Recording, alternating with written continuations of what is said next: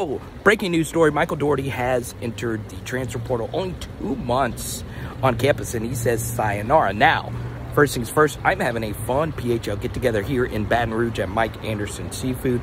I can't wait to meet each and every one of you, PHL Nation. So I want to get back in there and get some char-grilled oysters, but first things first, I do want to address this story. Now, I don't think this is a massive loss for LSU. Yes, you spent all this time recruiting these players, and after two months, you just say, I'm done with it. LSU's safety room is in a better spot than the current corner and nickel room, and Daugherty was going to play safety. So I don't think it is that big of a loss. And, you know, on my personal board, I don't know about you guys, I mean, he wasn't really that high up for me. I like Jeremiah Hughes. I like Ashton Stamps a little bit better. But you guys let me know what you think. Let's go.